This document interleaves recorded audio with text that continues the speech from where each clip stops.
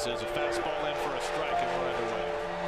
For the first time since 2013, the Mets have won five in a row. The Mets are in sole possession of first place. Duda creeps with a long one deep. Right center. Track, wall, goodbye. Home run. Lucas Duda. It is 4 to 1. New York over Philly. And Ichiro slaps one back to Familia. And the ball game is over. In a row. Familia saved five of the six. Catches the inside corner with that two-seamer. He struck him out, and the ball game is over.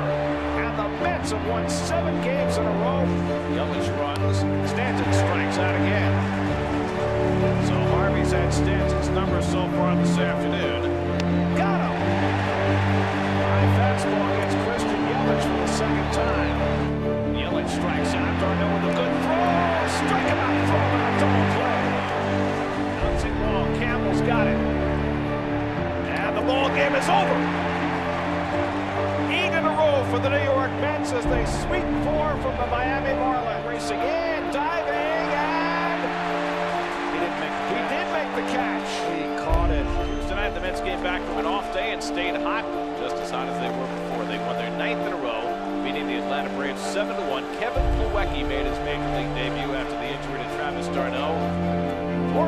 Drives one to deep left field. Back goes Johnson near the wall. It's out of here.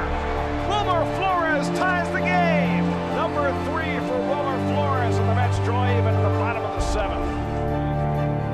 And Murphy cracks one to right field. Markakis will not get it, and it goes to the wall. Granderson scores. Duda will score. Cuddyer trying to score. He struck him out, and the ball game is over. Familia make quick work of the Braves in the ninth. The Mets come from behind, and for the first time since 2008, the Mets have won 10 games in a row.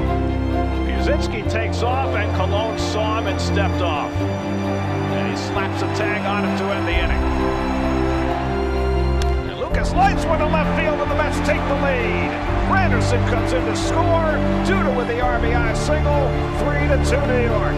Again, the 1 2 took him out, and the ball game is over. The New York Mets have tied a club record with their 11th consecutive victory as they sweep the Braves. The Mets go to 13 and 3, matching their best start